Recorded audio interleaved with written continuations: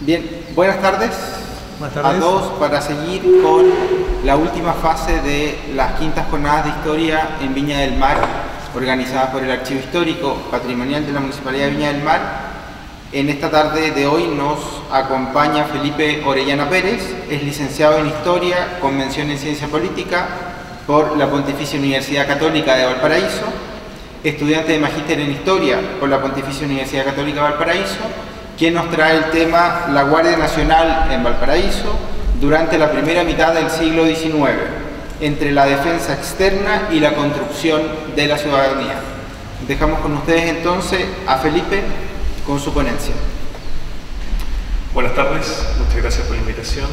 La ponencia que les voy a presentar se enmarca dentro de una investigación más amplia desarrollada en el Seminario Estado y Ciudadanía, impartido por el profesor Juan Cáceres en el programa de Magíster de la Pontificia Universidad Católica de Valparaíso, cuyo objetivo es identificar y analizar cuál fue el papel que le correspondió a la Guardia Nacional o Cívica en el proceso de construcción de la ciudadanía en Chile durante el siglo XIX.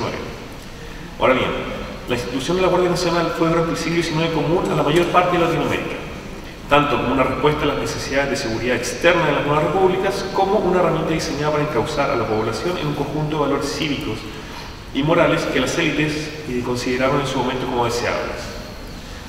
Los problemas de defensa en las primeras décadas de la independencia tienen que ver con tres factores principalmente.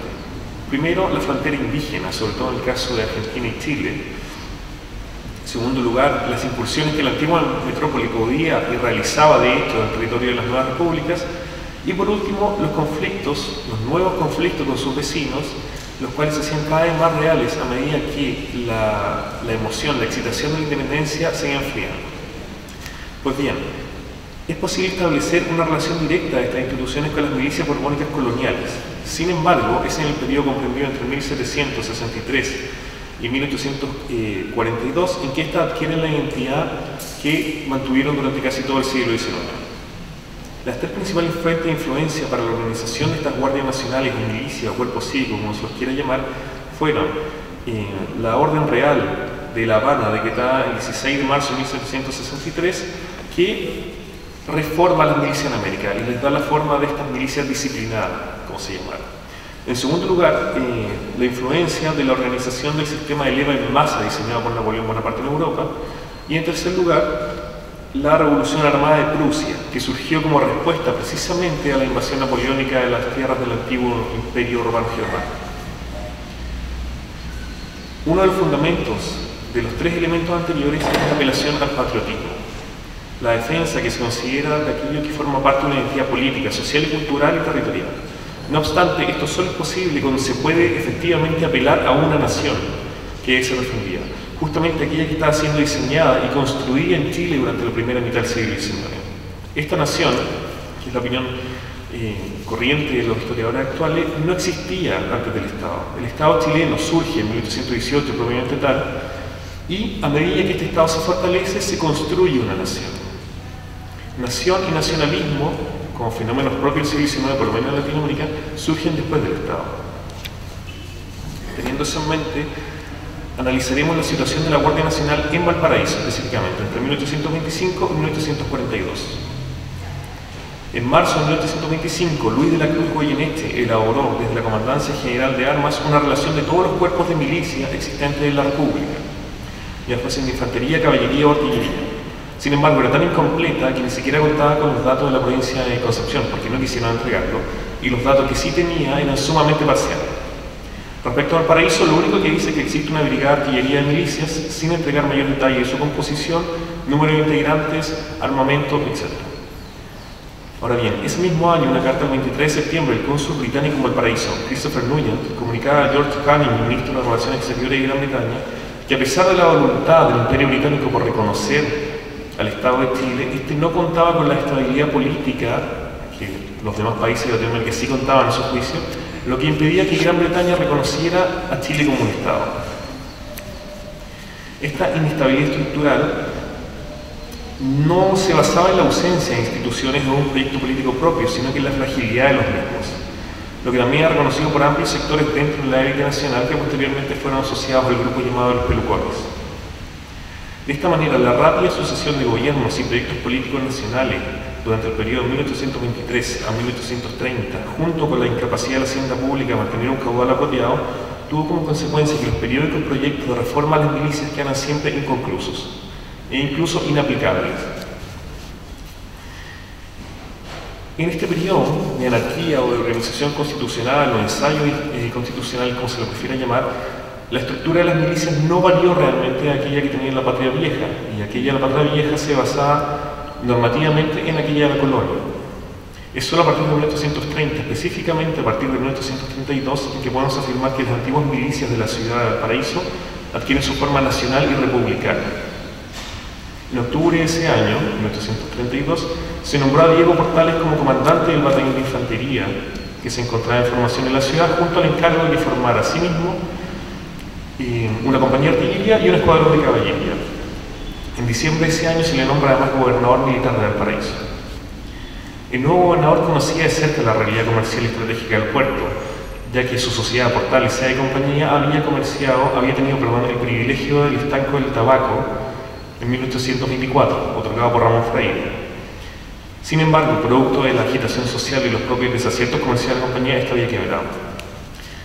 Por lo tanto, conocía lo que implicaba un enfrentamiento con los intereses de los sectores de artesanos de dicha ciudad, ya que a partir del, decreto del estanco del tabaco, los artesanos fabricantes de cigarros de Valparaíso pusieron a tener resistencia frente al, monopolio que tenía su compañía. A lo que se sumó, sin duda, los decretos del 8 de julio y 19 de agosto provenientes del Ministerio de Hacienda, los cuales se mandaba el desarme de la flota de Valparaíso, de, de todos aquellos barcos de la Armada que no se encontraban en servicio activo dejando virtualmente solo a Aquiles. Ahora bien, además de eso se decretó que el embarque de mercancías solo podía ser realizado por 12 barcos del Estado y los empleados de estos, lo que en la práctica significó que alrededor de 500 familias de pescadores y lancheros quedaban sin subsistencia, sin posibilidad de subsistir, y alrededor de 200 marinos y tropa también en la indefección. Ahora bien, Ramón Freire en unos pocos meses había logrado a través de su política generar un conflicto con una parte importante de la población del país, ya que no eran solo lancheros, marinos o artesanos quienes estaban perjudicados, sino también los comerciantes y grandes propietarios de la ciudad. Estas medidas perjudicaban a toda la población del país, finalmente. El mismo gobernador militar de la ciudad, José Ignacio Centeno, acérrimo higienista, apoyó a los movilizados, lo que le costó finalmente el destierro a bordo de una nave inglesa.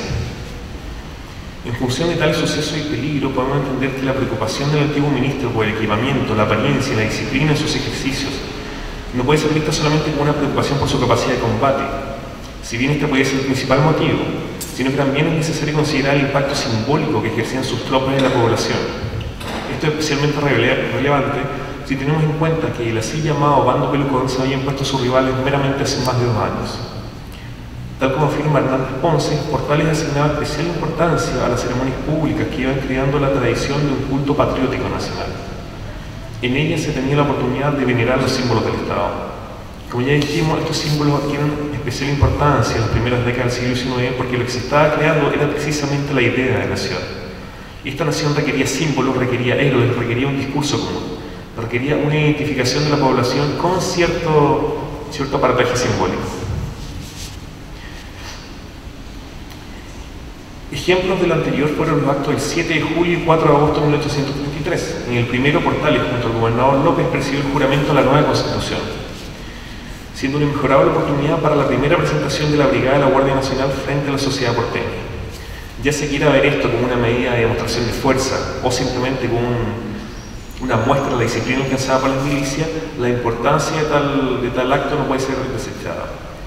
Y en el segundo acto, Portales organiza un juramento de la Constitución exclusivo para los miembros de la Guardia Nacional. Hacia fines de 1833 ya se habían formado, organizado y equipado en Valparaíso 1.500 guardias nacionales, los cuales se encontraban distribuidos en dos compañías de artillería, un escuadrón de caballería, un batallón de infantería, este último comandado por el mismo Portales. Esto tendría una eh, participación protagónica en los sucesos de 1837 de los alrededor, del Cerro Ya volveremos a eso. Antes revisaremos algunas cifras para entender la magnitud y la importancia del puerto del Paraíso en esa época. Portales había dejado la comandancia del batallón de infantería en 1833, sin embargo el proceso de perfeccionamiento y aumento de la dotación del cuerpo continuó en aumento, permitiendo que en agosto de 1835 la fuerza del cuerpo cívico prácticamente se duplicara, con dos batallones de infantería con 2.368 hombres, un, un, escuadrón de caballería con 173 y dos compañías de artillería con 210, dando un total de 2.751. Frente a ello hay que considerar que Santiago contaba con 3.976 y una población alrededor de 10 veces más grande que Valparaíso. Ahora bien, ¿qué justificaba entonces la mantención de tales fuerzas en una ciudad relativamente pequeña y alejada de las fronteras de como Valparaíso?